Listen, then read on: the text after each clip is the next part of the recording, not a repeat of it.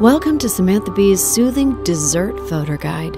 Just sit back and watch while I answer all your questions about voting day. First, do you know where to vote?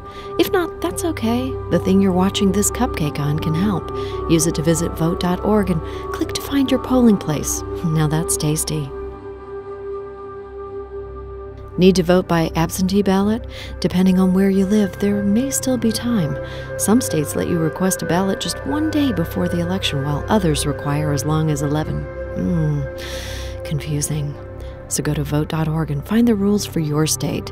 Special note for millennials you may need a stamp to mail in your ballot, so ask your parents or a trusted barista what a post office is. You can also buy stamps at drugstores, grocery stores, big box stores, online stores like Amazon, and even some ATMs. This isn't really that hard. If you arrive to vote and your poll worker tells you your name isn't on the rolls or you don't have the proper ID, don't just walk away.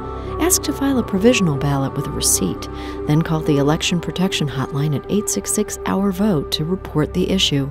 So delicious.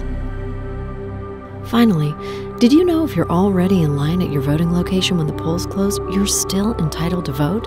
Just be like these donuts and stay in line. Thanks for watching and happy voting. my God, can I please get a butter tart now?